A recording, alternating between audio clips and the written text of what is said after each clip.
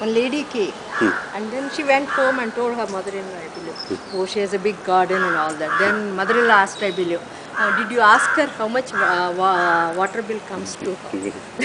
I told her hardly I use a drop of water for these plants from the corporation.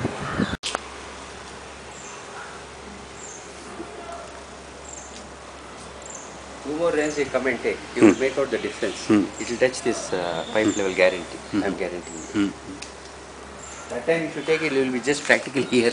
it has overflowed. The whole thing has overflowed about twice. Hmm.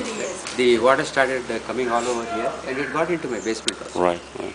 Because my basement is there. Hmm. So the water here stood at this level. It started going.